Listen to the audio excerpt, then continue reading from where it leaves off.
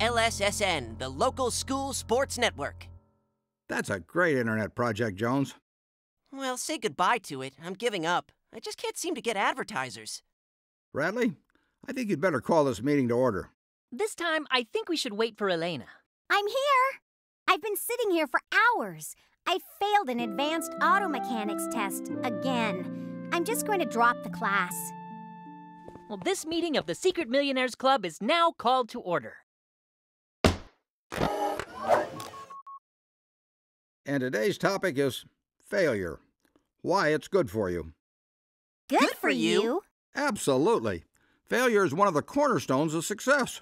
That seems to be an oxymoron. And it doesn't make any sense. Think about Thomas Edison. He tried over a thousand filaments for his electric light bulb before he found the right one. That means he failed at least 999 times. I may break that record. I think I already have. Didn't Abraham Lincoln lose some elections at first? Some.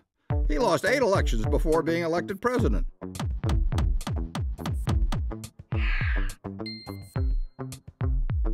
Well, I'm not Lincoln. And I'm not Edison. And neither of you is the inventor of the water powered car. The, what? Someone out there right now is trying to invent a car that runs on water. I've never heard about that. Me neither. That's because no one's succeeded yet.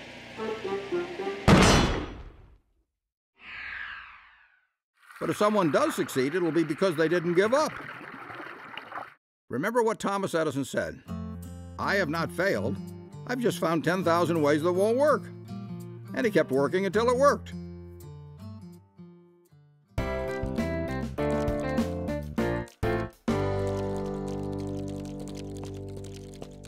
Hi, kids. How's it going? I figured out that if I shared advertising revenue with all the local school teams, they would help me get advertisers. I knew you were no quitter, Jones.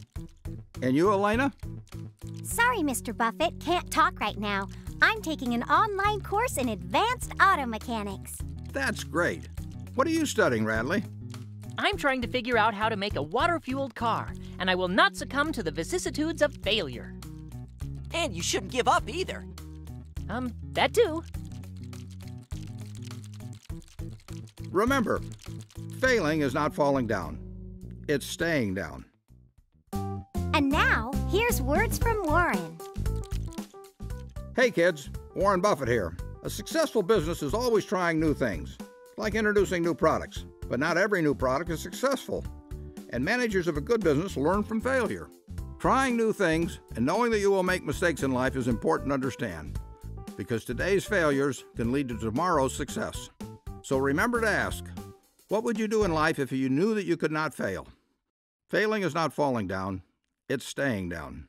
The best investment you can make is an investment in yourself. The more you learn, the more you'll earn.